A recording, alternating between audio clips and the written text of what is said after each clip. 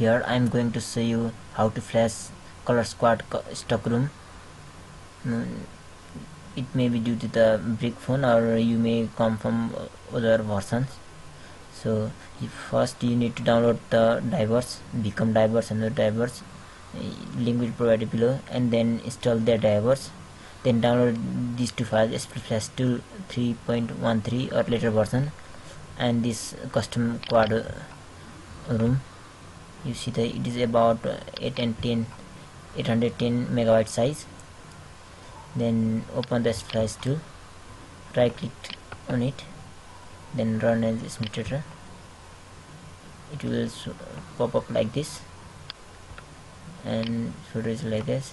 Then load the scatter file by clicking there. And uh, Colors Quad with custom recovery go to dest uh, where you will see the, the scatter file then click on that file. Now you see the every every block the this scatter file is check on check on. That is make sure that every file is, is check on because this check on means you have these files on that folder.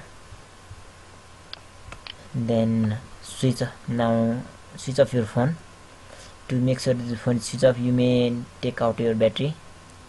Now if if you are sure sure that you may put put the battery back but don't switch on the phone.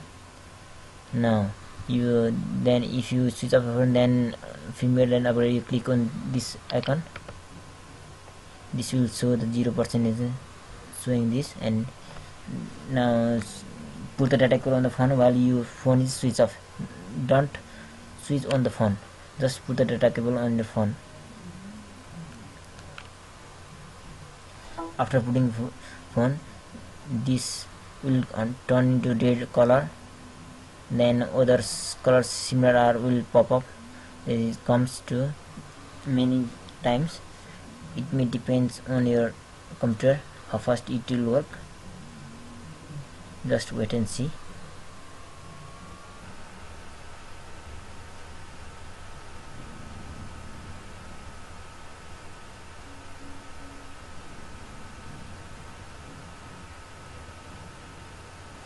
now if you see this, this kind of green screen and you, you your firmware is fully upgraded is flashed on your devices. Now close this.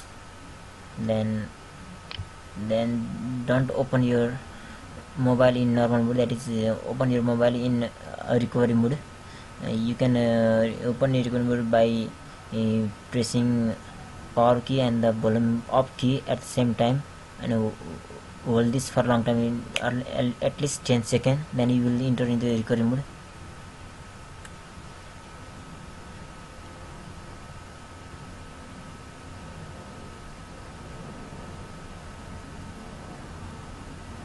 Uh, after in the recovery mode uh, then uh, wipe data and fix it go to the wipe data slash factory reset and hit the ok button that is power button and again say yes delete original data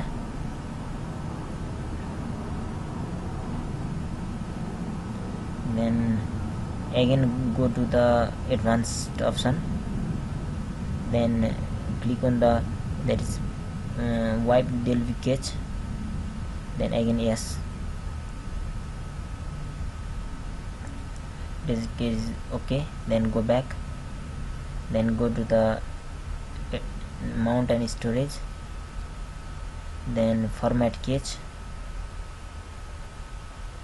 yes then go back then power off. It is asked do you want to fix root? Yes because it is already, rooted that's why it is asking so then click on yes. Now open your mobile in normal mode that is power key only clicking power key